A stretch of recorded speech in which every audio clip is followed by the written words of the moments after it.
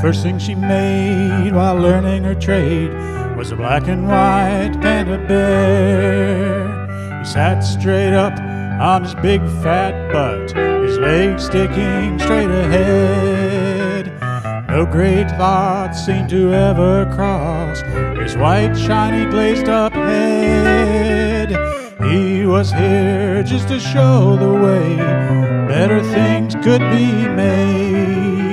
You have no cares when the panda bear is looking over your shoulder. That porcelain form looks a little forlorn, but it shows you things will get better.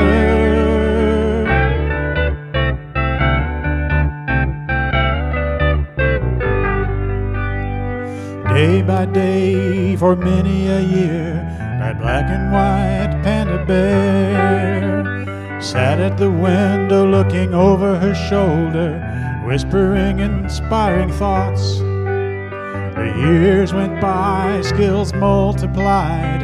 The panda now looks so crude. He doesn't mind, he spends his time giving hope and inspiration. You have no cares when the panda bear is looking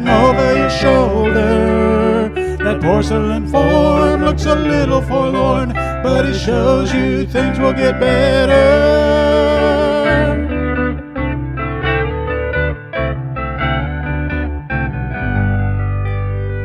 After she was gone, the panda stayed on silently at his station, waiting to see if some other might need encouragement he could give.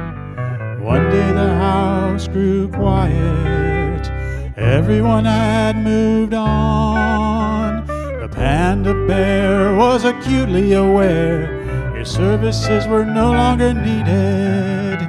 You have no cares when the panda bear is looking over your shoulder. That porcelain form looks a little forlorn, but he shows you things will get better. One day I looked his way and took him off of the window. That panda bear now provides his care to a new house, a new generation.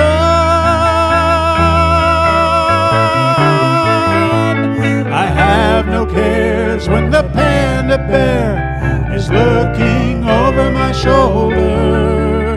That porcelain form looks a little forlorn, but it shows me things will get.